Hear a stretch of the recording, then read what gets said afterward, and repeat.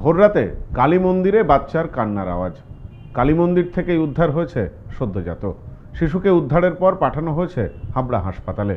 শিশুটিকে কারা এখানে ফেলে গেল ঘটনার তদন্ত শুরু করেছে পুলিশ। অবাক করা কাণ্ড। শীতের সকালে কালী মন্দিরের ভেতর থেকে উদ্ধার সদ্যজাত পুত্র সন্তান। ঘটনায় চাঞ্চল্য হাবড়া থানার কুমড়া গ্রাম পঞ্চায়েতের বনবিবিতলা এলাকায়। গায়ে কোনো বস্ত্র না থাকায় ঠান্ডায় কাঁদতে থাকে সদ্যজাত শিশু।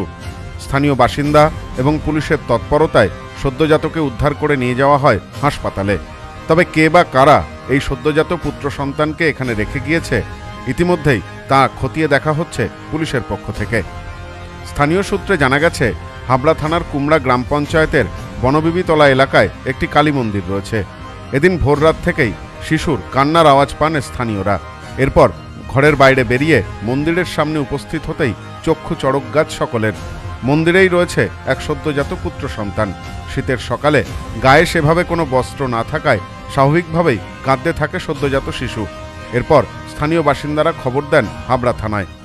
দেখে আমি কখনো দেখিনি। তোমার সামনে ফেলে গেছে তাকে তো একটা কিছু বলতে পারতে তুমি? তা তাকে বলনি। তো আমাকে যখন দেখাচ্ছ, তখন আমি এইখান থেকে ঘরে গেছি ঘরে যে মেয়েকে দেখেছি। এইখানে মাথাটা এই যে এইখানে। একদম কালো হয়ে গেছে। তখন ওই মেয়েটা এসে ন্যাকড়া দিয়ে জোরে ধরে আর কি কোলে নিয়ে বাইরে গেছে। বাইরে যে তখন ওই মাসিটাকে ডাকছে। কান্না করছে কান্না করার পর জোরে ধরছে গাটা গরম এসে একটু ঘুমিয়ে গেছে। খবর পেয়ে ঘটনাস্থলে পৌঁছায় পুলিশ। স্থানীয় বাসিন্দা ও পুলিশের তৎপরতায় সদ্যজাতকে উদ্ধার করে নিয়ে যাওয়া হয় হাবড়া হাসপাতালে। বর্তমানে হাসপাতালে চিকিৎসাধীন রয়েছে ওই শিশু। তবে এমন শীতের সকালে কে বা কারা বিবস্ত্র অবস্থায় সদ্যজাতকে মন্দিরের সামনে রেখে গেল তা নিয়ে তৈরি হয়েছে চাঞ্চল্য। ঘটনার তদন্ত শুরু করেছে পুলিশ। এ বিষয়ে স্থানীয় এক বাসিন্দা জানান, ভোর রাত থেকে একটি বাচ্চার কান্নার আওয়াজ পাচ্ছিলাম। প্রথমে বুঝতে পারিনি। পরে বাইরে বেরিয়ে সকলে দেখতে পায়, মন্দিরে একটি বাচ্চা কান্নাকাটি করছে।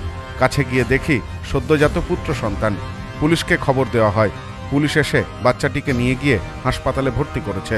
তারপর ও ভোর তিনটে থেকে কান্না করছে। আমি ভেবেছি পাশের বাড়ি হয়তো কান্নাকাটি করছে আমরা ঘুম দিয়ে উঠি সকালে উঠে দেখি মার মন্দির খোলা আর পুরো মানে আলগা গায়ে রয়েছে কাঁপছে ছেলেটা। তখন আশেপাশে আমি সবাইকে ডাক দিয়েছি।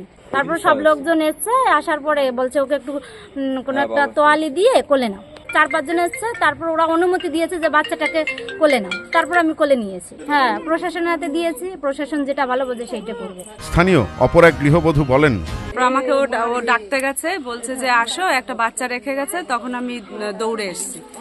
দৌড়ে এসে তারপরে ওকে ওই তোয়ালে জড়িয়ে বলে শীতে একদম কেঁপে গেছে পুরো মুখ টুক কালো হয়ে গেছিল। তারপরে তোয়ালে দিয়ে কোলে নেওয়াতে ও বেশ আরাম পেয়েছে, ও চুপ করেছিল। তা একটু আমল দুধ গুলে আমরা খাইয়ে দিয়েছি আমি, খেয়েছে, ওর খিদে পেয়েছিল।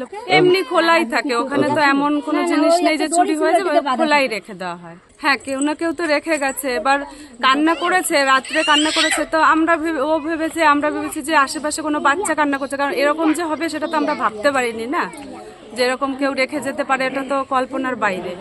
তবে এই ঘটনায় স্বাভাবিকভাবেই চাঞ্চল্য ছড়িয়েছে গোটা এলাকা জুড়ে। কে বা কারা বাচ্চাটিকে রেখে গিয়েছে, তা নিয়ে উঠছে একাধিক প্রশ্ন। হাবড়া থানার পুলিশ ইতিমধ্যেই বিষয়টি খতিয়ে দেখছে বলে জানা গিয়েছে। Bureau report, news, no man's land, Habra.